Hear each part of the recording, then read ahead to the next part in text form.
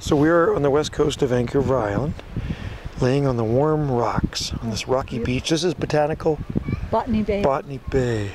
and then There's a lot of fog out there on this, on the ocean, but on these rocks it's really, really warm. Such a beautiful place. We're warming up before we go over to Botanical Beach. peaceful. Everybody looks like they're moving Yeah. I don't know why. Smoking something. I don't know. I Feet at the beach.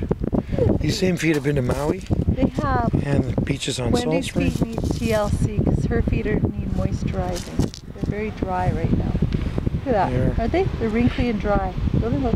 Go look at them. No, no, we're gonna look at them. Everybody's gonna see them. Those are my Yeah, feet right Wendy there. needs some moisturizer on her feet right now. I need It's a nice place to sit, eh?